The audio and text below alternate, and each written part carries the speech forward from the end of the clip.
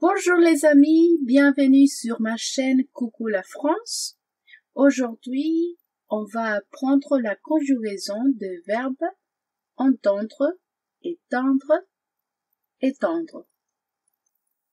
J'entends, j'éteins, j'étends.